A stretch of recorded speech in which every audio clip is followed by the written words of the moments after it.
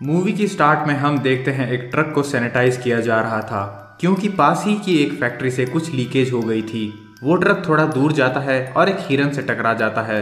इस टक्कर से हिरन की मौत हो जाती है, पर हिरन थोड़ी देर बाद खुद ही ज़िंदा हो जाता है और हम देखते हैं कि हिरन की आँखें पूरी तरह से वाइट कलर की हो चुकी थी।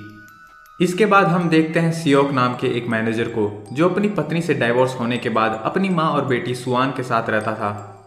सुआन का कल बर्थडे था, इसलिए सियोक उसके लिए एक प्ले स्टेशन ले जाता है। सुआन को वो गिफ्ट पसंद नहीं आता, क्योंकि उसके पास पहले से ही वो प्ले स्टेशन था। सुआन कहती है कि वो अपना बर्थडे उसकी माँ के साथ मनाना चाहती है। सुआन सियोक को उसे बुसान ले जाने को कहती है, जहाँ उसकी माँ रहती थी। सियोक की माँ भी उसे सुआन को बुसान ले जाने को कहती है, इसलिए अगले दिन सियोक सुआन को बुसान ले जाने के लिए ट्रेन स्टेशन पर जाता है। इस ट्रेन में इन दोनों के साथ एक बेसबॉल टीम दो बूढ़ी औरतें, एक मतलबी बिजनेसमैन यौनसुख एक कपल और एक होमलेस आदमी चोई भी था। टिकट कलेक्टर से बचते हुए एक लड़की उस ट्रेन पर चढ़ जाती है, जिसके पैर पर एक चोट का निशान था और वो ट्रेन चलने लग जाती है। वहीं रेलवे स्टेशन पर कुछ अजीब घटनाएँ हो रही थी। सुआन भी ये सब देख लेती है, पर वो सियोक को इसके बारे में नहीं बताती, क्योंकि सियोक सो रहा था। ट्रेन के बाथरूम में इन्फेक्टेड लड़की अपने इन्फेक्शन को रोकने के लिए अपने पैर पर एक कपड़ा बांधती है। ट्रेन के अटेंडेंट को मतलबी बिजनेसमैन यौनसुख बताता है कि जेंट्स टॉयलेट में एक पागल आदमी काफ़ी देर से घुसा हुआ था। इसलिए अटेंडेंट चोई को अगले स्टेशन पर ट्रेन से उतर जाने को कहता है। वहीं वो इन्फेक्टेड लड़की अब नीचे गिर जाती है। स्वान टॉयलेट यूज़ करने के लिए जाती है और वहाँ पर वो सांग से मिलती है, जो उसे दूसरा टॉयलेट यूज़ करने को कहता है, क्योंकि उस टॉयलेट में उसकी प्रेग्नेंट वाइफ थी। ट्रेन की अटेंडेंट उस इन्फेक्टेड लड़की के पास जाती है और हेल्प के लिए एक डॉक्टर को बुलाती है। इन्फेक्टेड लड़की ट्रेन की अटेंडेंट को काट लेती है और उसे भी इन्फेक्टेड कर देती है। और उस बोगी में इन्फेक्टेड लोग एक दूसरे को काट कर इन्फेक्शन फैलाने लगते हैं। सियोक स्वान को लेकर उस बोगी से दूसरी बोगी की तरफ़ भाग जाता है। सांग भी अपनी प्रेग्नेंट वाइफ सियोंग को लेकर इन्फेक्टेड लोगों से दूर नॉर्मल लोगों की बोगी में आ जाता है। ये लोग ग्लास पर पेपर चिपका देते हैं ताकि जोम्बीज उन्हें ना देख पाएँ। तभी सियोक को उसकी माँ की कॉल आती है, जो सियोक को सुआन का ख्याल रखने को कहती है। दरअसल सियोक की माँ भी उस वायरस से इन्फेक्टेड हो गई थी, और वो भी कुछ समय बाद जोम्बी बनने वाली थी। इसलिए वो आखिरी बार सियोक से बात करना चाहती है। तभी सियोक की माँ भी एक जोम्बी बन जाती है और फ़ोन कट जाता है। टीवी पर बताया जाता है कि इस वायरस के कारण लोग एक दूसरे को मार रहे हैं। चारों तरफ़ दंगे हो रहे थे और साउथ कोरिया में इमरजेंसी घोषित कर दी गई थी। सरकार लोगों को उन्हीं के घरों में सुरक्षित रहने को कहती है। ट्रेन में अनाउंसमेंट होती है कि ट्रेन अब आखिरी स्टेशन में रुकेगी और वहाँ पर आर्मी को भी बुला लिया जाता है। सियोक को उसका बॉस बताता है कि आखिरी स्टेशन में आर्मी के लोग उन्हें क्वारंटीन कर देंगे। वो सियोक को एक दूसरे गेट से बाहर आने को कहता है, ताकि वो सियोक और उसकी बेटी को खुद जाकर पिक कर सके और उन्हें क्वारंटीन होने से बचा सके। ट्रेन स्टेशन पर रुकती है, जो पूरी तरह से खाली था। योनसुक ट्रेन के ड्राइवर को कहता है कि वो ट्रेन को बुसान की ओर ले जाए, पर ट्रेन का ड्राइवर ऐसा नहीं करता। ट्रेन से उतरे लोग अब मेन गेट की तरफ़ जाने लगते हैं और सियोक दूसरे गेट से जाने लगता है। मेन गेट पर लोग देखते हैं कि वहाँ आर्मी वाले सभी वायरस से इन्फेक्टेड हो चुके थे और जोम्बीज बन चुके थे। आर्मी के लोग काफ़ी पैसेंजर्स को इन्फेक्ट कर देते हैं। स्वान को एक जोम्बी काटने वाला था कि तभी सांग उसे बचा लेता है। सांग और बाकी के लोग जोम्बी को रोकते हैं और बाकी बचे पैसेंजर्स ट्रेन पर चढ़ने लगते हैं। योनसुक ट्रेन को चलाने को कहता है और ट्रेन का ड्राइवर ट्रेन स्टार्ट कर देता है। सियोग सांग और मिन भी किसी तरह ट्रेन पर चढ़ जाते हैं। ट्रेन का ड्राइवर ट्रेन को बुसान की तरफ़ मोड़ता है। वहीं ट्रेन में जोम्बीज से भरी एक बोगी में सियोंग और सुआन एक टॉयलेट में छिप जाते हैं। सांग अपनी वाइफ को कॉल करता है और हमें पता चलता है कि उसकी वाइफ बोगी नंबर तेरह में है और वो इस वक्त बोगी नंबर पंद्रह में थे। उन्हें उन तक पहुँचना था, पर बीच में जोम्बीज भरे पड़े थे। सांग सियाक और मिन जोम्बीज से लड़ने के लिए तैयार होते हैं। वो अब इन जोम्बीज से लड़कर आगे बढ़ने वाले थे। ये तीनों जोम्बीज से लड़ते हैं और एक बोगी को पार कर लेते हैं। अगली बोगी में मिन के बाकी के दोस्त थे, इसलिए वो किसी को भी मार नहीं पाता। तभी ट्रेन एक टनल से गुजरती है और ये देखते हैं कि जोम्बीज अंधेरे में देख नहीं सकते। अंधेरे में जोम्बीज सिर्फ़ आवाज़ की तरफ़ जाया करते थे।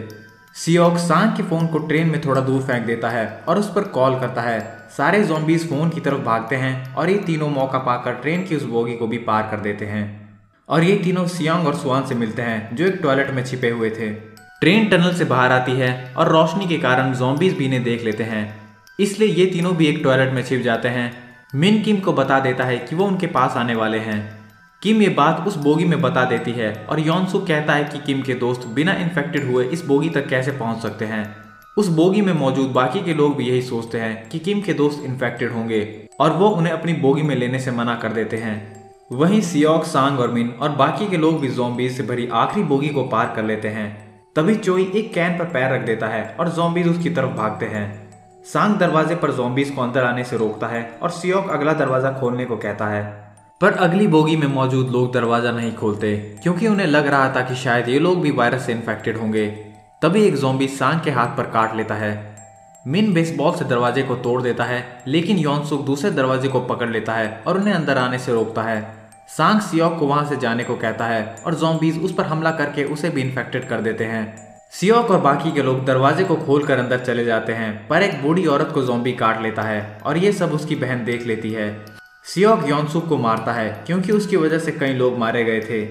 योनसुक कहता है कि सियोक और उसके साथी इन्फेक्टेड हो सकते हैं, इसलिए उन्हें अगली बोगी में भेज देना चाहिए।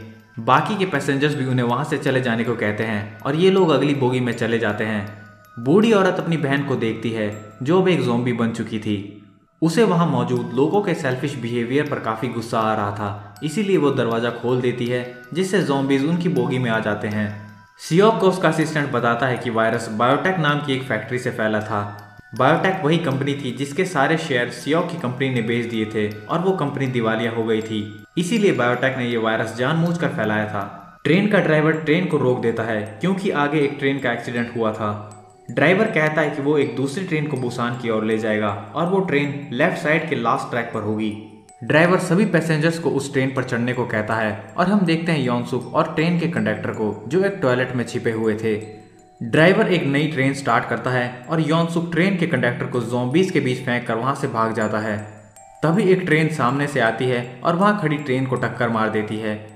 किम और मिन एक ट्रेन पर चढ़ते हैं और उसका दूसरा दरवाज़ा खोलने की कोशिश करते हैं। पर तभी योनसुक वहाँ आ जाता है और किम को एक जोम्बी के ऊपर फेंक देता है। जोम्बी किम के पैर पर काट लेता है। थोड़ी देर बाद किम भी जोम्बी बन जाती है और मिन को काट लेती है। वहीं सियोक, सांग, सुआन और चोई ट्रेन के नीचे फंसे हुए थे। ट्रेन का ड्राइवर योनसुक को ट्रेन की ओर आते देखता है और वो योनसुक की मदद करने के लिए जाता है, पर योनसुक उसे जोम्बीज की तरफ़ फेंक कर ट्रेन पर चढ़ जाता है। सियोक ट्रेन के नीचे से सुआन और सियोंग को निकालता है और चोई जोम्बीज को रोकता है। जोम्बीज चोई को काटकर उसे भी जोम्बी बना देते हैं। अब सियोक सुआन और सियोंग तीनों ट्रेन की तरफ़ भागते हैं और इनके पीछे जोम्बीज पड़ जाते हैं। ये तीनों ट्रेन पर चढ़ जाते हैं। जोम्बीज भी ट्रेन को पकड़कर उस पर चढ़ने की कोशिश करते हैं, पर सियोक लात मारकर जोम्बीज को ट्रेन से अलग कर देता है। सियोक देखता है कि इंजन में यौनसुक बैठा हुआ था, जो एक जोम्बी बन चुका था। यौनसुक और सियोक में लड़ाई होती है और यौनसुक सियोक को काट लेता है। सियोक खुद को एक चेन से बांधता है और यौनसुक को ट्रेन से नीचे फेंक देता है।